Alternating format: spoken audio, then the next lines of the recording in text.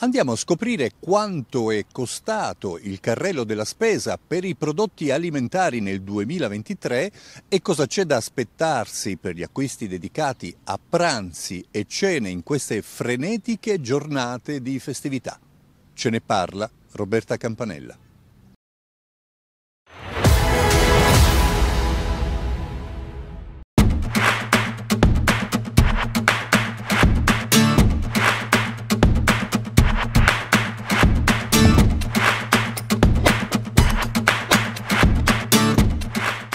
Nei primi nove mesi del 2023 il carrello della spesa per i beni alimentari da consumare in casa è costato agli italiani il 9,2% in più rispetto allo stesso periodo del 2022.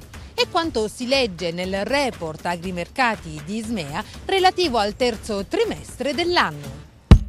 Secondo i dati dell'osservatorio sui consumi alimentari SMEA Nielsen IQ, in termini assoluti l'incremento è di oltre 7 miliardi di euro, con un carrello che si conferma alleggerito nei volumi.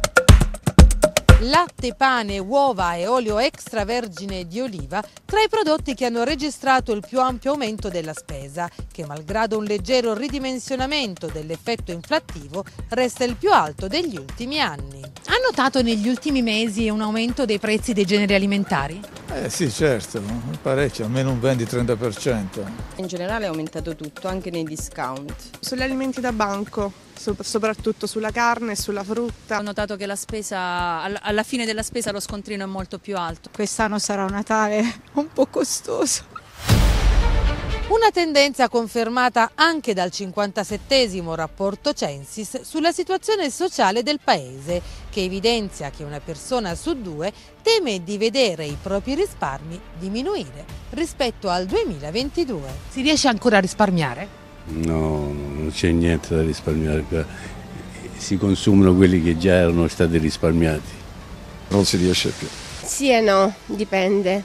Certo, pochissimo, magari rinunciando pure al riscaldamento. Io cerco di non risparmiare invece, io ho più di 150 anni, altri devo campare.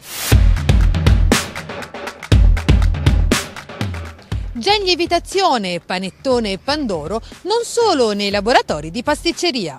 Guardando i dolci che caratterizzano le tavole degli italiani a Natale, infatti, dall'indagine realizzata dall'Osservatorio Nazionale Feder Consumatori emerge che il prezzo del panettone tradizionale cresce del 9% rispetto allo scorso anno e del 10% quello del pandoro.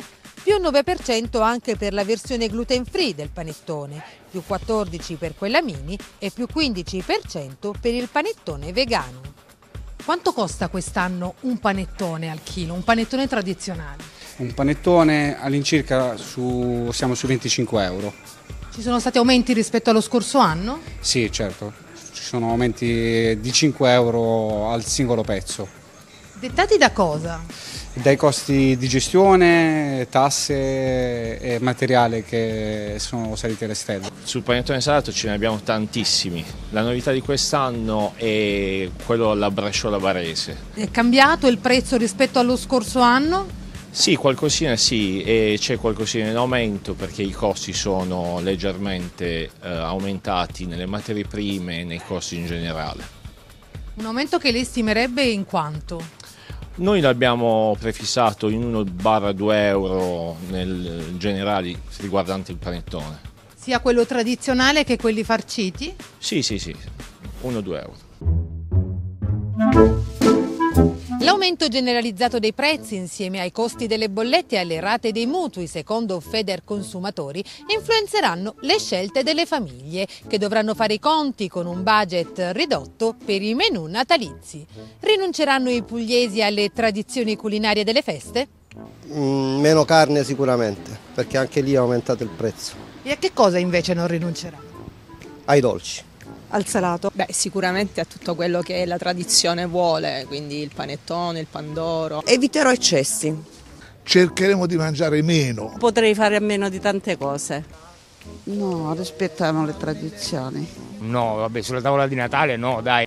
Le anguille, frutti di mare, quelli è impossibile rinunciarci.